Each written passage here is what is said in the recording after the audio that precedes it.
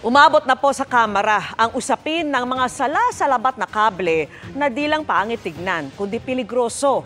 Utos sa isang panukalang batas, ayusin ito ng mga public utility company. At nakatutok si Tina Panginiban Perez. Malaking perwisyo ang idinulot ng pagtumba ng mga poste ng Meralco sa labas ng Binondo Church sa Maynila noong nakaraang taon. Ang pinaniniwala ang sanhi ang napakaraming kableng nakakabit sa mga poste. Pero ang problema ng spaghetti wires nagpapatuloy pa rin. Tulad ng dinaranas ng barangay na ito sa Tagig na ibinalita kamakailan ng 24 oras.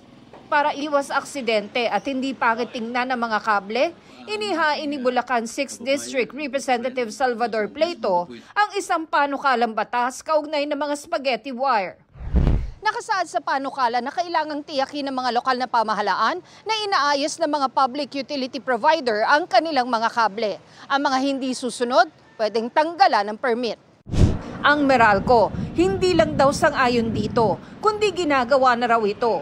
Pero sabi ng Meralco, hindi naman mga kable nila ng kuryente ang problema. these are not Meralco po uh, Meralco lines because Meralco lines have uh, never been an issue. Mataas kasi ang Meralco lines. Ang problema ay doon sa mga nagkakabit sa poste namin. Ito yung mga ibang service providers na kung minsan ni hindi nagpapaalam uh, sa Meralco. Magpaalam muna. Bigyan muna kami ng information kung magsasampay sila ng kanilang mga linya. Hindi pa pwede, Tina, yung basta ka na lang magkakabit dyan without informing us. That is illegal. At aside from informing us, get us secure permit from the local government unit.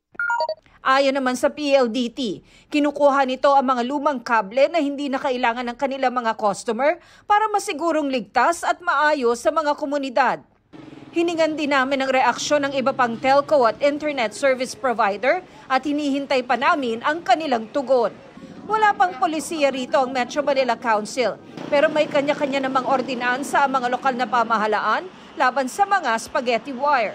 May ilang panukala ring inihain sa kamera para sa ilalim na lang ng lupa ilagay ang mga kable tulad ng ginawa sa ilang bahagi ng Taguig, Davao at Cebu.